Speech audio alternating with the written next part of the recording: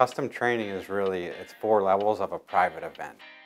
The first level being that you can take a course directly off the shelf and we can just provide it to you in your own timing. The second level is we can take a course that we have and adjust it so it specifically addresses your needs. For example, if your company works in oral solid dosage, we could take our particular information and adjust it so we're speaking directly toward oral solid dosage. That way you get the most, most benefit out of the course and you can ask specific questions directly toward what your company does.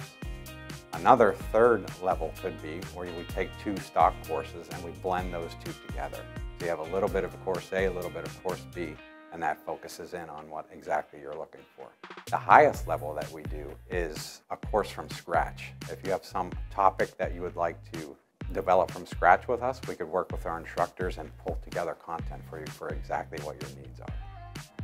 I got to tell you, hands down, what I like the most is working with the folks from ISPE. They were very professional, helping us get it set up, help us understand what were the offerings. We looked at eight total courses. So they were adaptable, so it was, it was great to be able to adapt and ultimately to deliver it, execute the training itself in a perfect you know, way and manner. And then the follow-up has been good as well. We, we offered, uh, I think, CDUs or professional development units to the folks that attended.